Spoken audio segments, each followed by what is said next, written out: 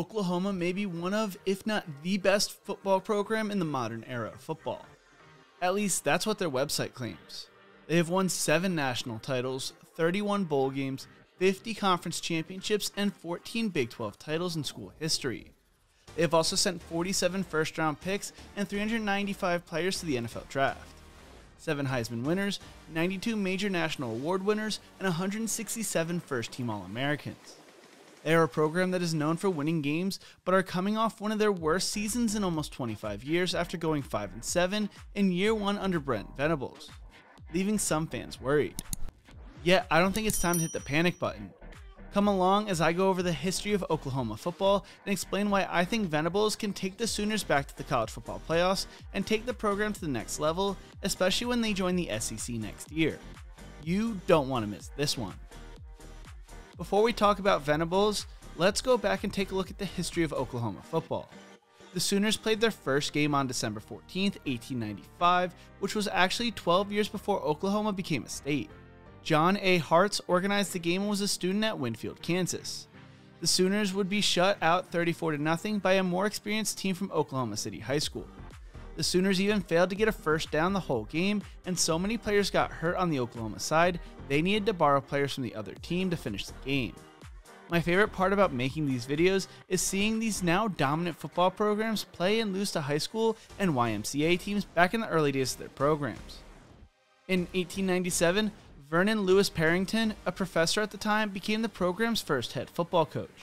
He had first played football at Harvard and brought his East Coast experience to Oklahoma, leading them to a 9 2 1 record in four years. Due to football interfering with his teaching responsibilities, he decided to step down as coach in 1900. Parrington would go on to win the Pulitzer Prize for History while at the University of Washington in 1928. Over the next few years, Oklahoma would have multiple coaches come and go while hovering around the 500 mark.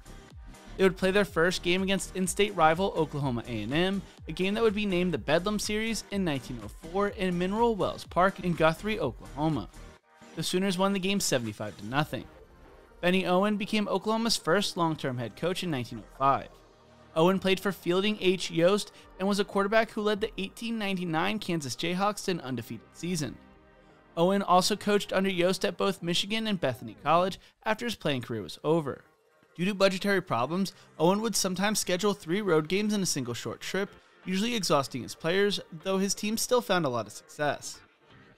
After eight meetings with Texas, Oklahoma finally won their first matchup in the series against their arch rivals. In 1908, they finished 8 1 1, with their only loss coming to the Kansas Jayhawks, while in 1911 they went 8 0. They also had undefeated seasons in 1915 and 1918 as well. In 1920, Oklahoma moved to the Missouri Valley Intercollegiate Athletic Association, which would later become the Big Eight after being a founding member of the Southwest Conference in 1915, which included Southwestern, Oklahoma State, Arkansas, Baylor, Rice, Texas, and Texas A&M. The MVIAA included Washington, Missouri, Kansas, Missouri, Nebraska, Drake, Iowa State, Kansas State, and Grinnell, along with Oklahoma at the time. They finished their first year in the conference going 6 0 1, with their only tie coming against Kansas State. Owen retired in 1926, and over his 22 year coaching career at the helm of the Sooners program, they went 122, 54, and 16, finishing with four undefeated seasons and three conference championships. He also became Oklahoma's athletic director.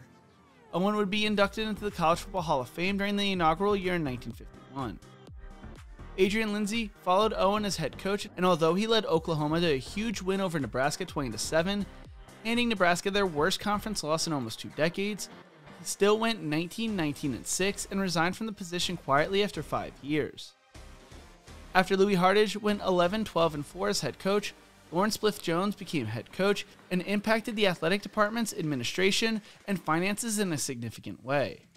Tom Stidham became head coach after Jones led the Sooners to a 10 1 record and a fourth place finish in the AP poll, leading to them playing in their first bowl game, the Orange Bowl, where they lost 17 0 to Tennessee. Stidham would be unable to find the same type of success the following three seasons, but left Oklahoma with a .750 winning percentage in his career. Throughout the early 40s, the Sooners never finished lower than second in the Big Six Conference and won two conference titles under Dewey, Snort, and Luster. Bear Bryant served as an assistant under head coach Jim Tatum, and during the 1946 season Oklahoma went 8 3, winning Bedlam 73 12 and won the Gator Bowl over NC State. Bud Wilkinson, who almost was given the job over Tatum, replaced Tatum after the 46th season when he left for the Maryland job. The Wilkinson era at Oklahoma was one of the most successful and dominant periods in college football history. As head coach of the Sooners from 1947 to 1963, he led them to three national championships in 1950, 1955, and 1956, and 14 conference titles. He also oversaw the longest winning streak in NCAA history with 47 consecutive victories between 1953 and 1957. Wilkinson was known for his innovative use of the split T offense, his meticulous preparation, and his high standards for his players. He was inducted into the College Football Hall of Fame as a coach in 1969. He is widely regarded as one of the greatest coaches of all time and a legend in Oklahoma football.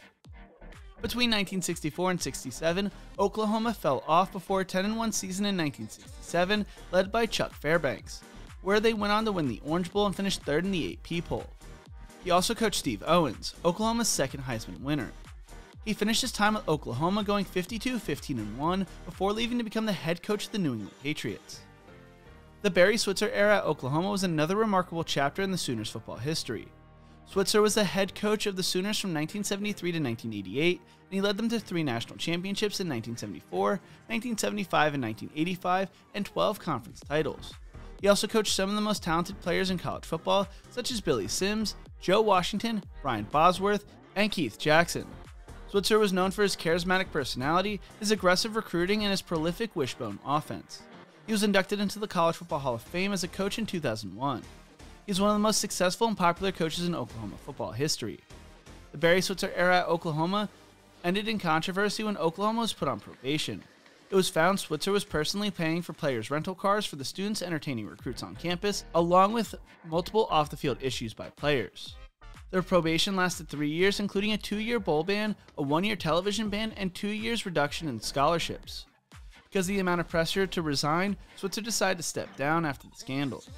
There was a gap of 10 years between the Barry Switzer and Bob Stoops era at Oklahoma. Switzer resigned as the Sooners head coach in 1989 after 16 seasons amid the series of scandals and the NCAA sanctions that tarnished his legacy. He was succeeded by Gary Gibbs, who coached Oklahoma from 1990 to 1994 but failed to win a conference title or finish in the top 10. Gibbs was replaced by Howard Schnellenberger, who lasted only one season in 1995, going 5 5 1 and alienating many players and the fans. John Blake took over in 1996, but he went 12 and 22 in three seasons and was fired after the 1998 season. Bob Stoops was hired as the new head football coach in 1999 after serving as the defensive coordinator at Florida. He quickly restored the Sooners' winning tradition, leading them to the national championship in his second season in 2000. He also won 10 Big 12 titles and made four more appearances in the national championship game. He coached Oklahoma for 18 seasons until he announced his retirement in 2017. He is the winningest coach in Oklahoma history with a record of 190 and 48. He is widely respected and admired by Oklahoma fans and former players, including Switzer, who has praised Stoops for his loyalty and dedication to the program. The Lincoln Riley era at Oklahoma was a short but successful one. After a failed college football career, Riley became an assistant coach under Mike Leach at Texas Tech and would quickly become one of the top young offensive minds in college football. Riley was the head coach of the Sooners from 2017 to 2021 after serving as the offense coordinator under Bob Stoops from 2015 to 2016. He led Oklahoma to four consecutive Big 12 titles, three appearances in the college football playoffs, and also coached two Heisman Trophy winners in Baker Mayfield and Kyler Murray, and a finalist in Jalen Hurts. Riley was known for his innovative and explosive offense, which ranked among the best in the nation every year. He also improved Oklahoma's recruiting, landing several five star prospects and transfers. He left Oklahoma after the 2021 regular season to become the head coach at USC, shocking many fans and players. He finished his Oklahoma career with a record of 55 and 10. The man chosen to replace Lincoln Riley, Brent Venables. The hiring of Venables at Oklahoma was the result of a swift and decisive search by the athletic director, who was looking for a proven winner, a defensive mastermind, and a former Sooners assistant to replace Lincoln Riley. Riley shocked the college football world by leaving Oklahoma for USC after the 2021 regular season, ending his five year tenure as the Sooners head coach. Oklahoma quickly turned their attention to Venables, who had spent 10 years as a defensive coordinator and associate head coach at Clemson, where he had helped the Tigers win three national championships and six ACC titles. Venables had also coached at Oklahoma from 1999 to 2011, serving as the co defensive coordinator on the 2000 national championship team and the defensive coordinator and associate head coach under Bob Stoops. Venables had a strong reputation as one of the best defensive minds and recruiters in the country, as well as a deep connection to Oklahoma's culture and tradition.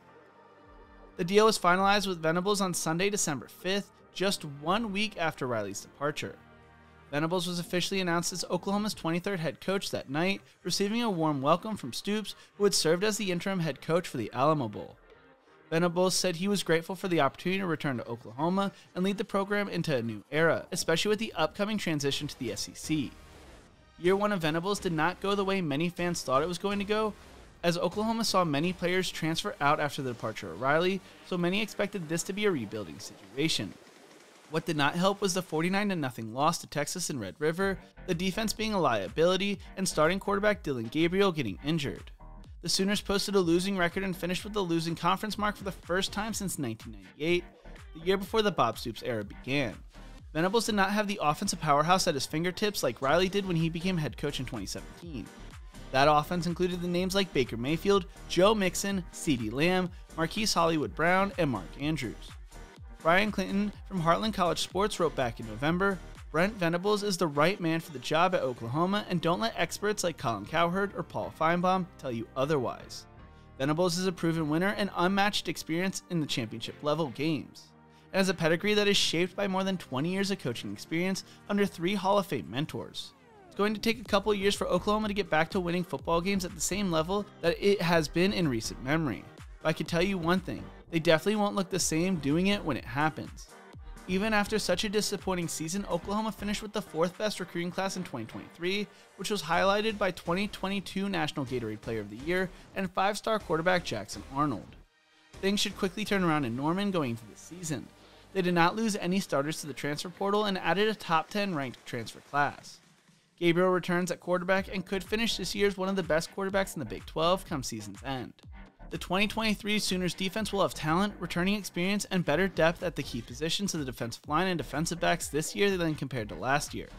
There's an argument to be made that Oklahoma can win anywhere from 8 to 11 games this season, making it a major jump from last year.